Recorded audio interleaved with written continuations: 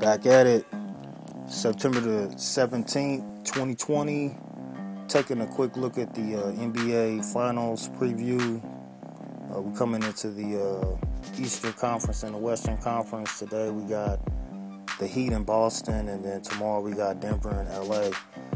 And looking at the patterns uh, in these games, the uh, the Heat have a pattern of winning three games in a row and then losing and then winning the fifth game. So I expect them to continue that pattern against Boston and win again today. Uh, the Heat should uh, take out the entire East and then meet in the finals with the uh, Lakers. And we see the fire in California. So we see the symbolism going on with the NBA final potential uh, matchup here. We see the fire, the water, the battle between fire and water, and you know we know who wins that battle between fire and water. And um, you know, I see uh, that the NBA is you know syncing this up to happen. Um, you know, the Nuggets play the Lakers tomorrow, and the pattern that the Lakers have been following has been to lose the first game.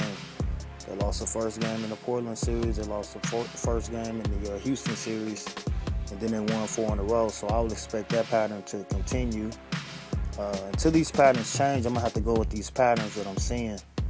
Um, I went with the Heat losing the first game like the Lakers, but that's not their pattern. Their pattern in the last series was to win three and then lose one and then win the fifth game. And, uh, you know, I knew that the uh, Nuggets were going to put out the Clippers. Uh, and it's so obvious when they tell you these things because they were down 16 points at half and came back two games in a row.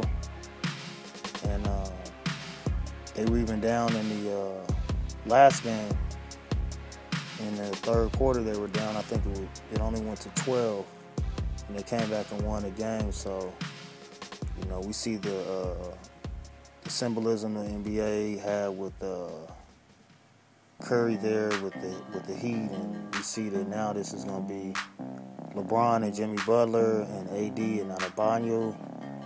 Uh, the Lakers versus the Heat.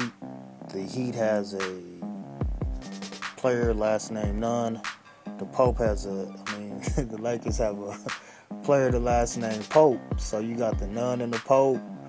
It's corny and it's symbolic and it's rigged and it's scripted and it's it's funny when you can be able to see you know these things before they happen and then see them you know manifest and just come together and it's like it's very profitable as well